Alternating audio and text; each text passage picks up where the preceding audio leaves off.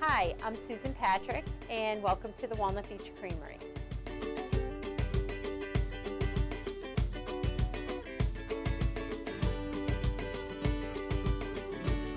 Here at Walnut Beach Creamery, I like to make things from scratch.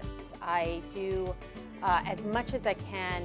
I use fresh fruit purees. Uh, I just think that the flavor is so different. It's so fresh, and you can really tell the difference.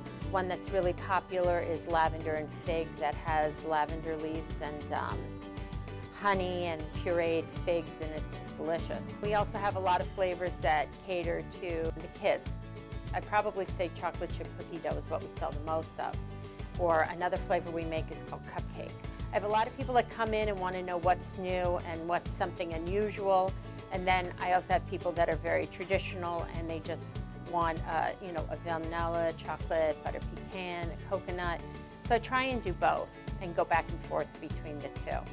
The one I'm making right now is Old Goat, which includes goat cheese and a um, fig puree that has cognac in it.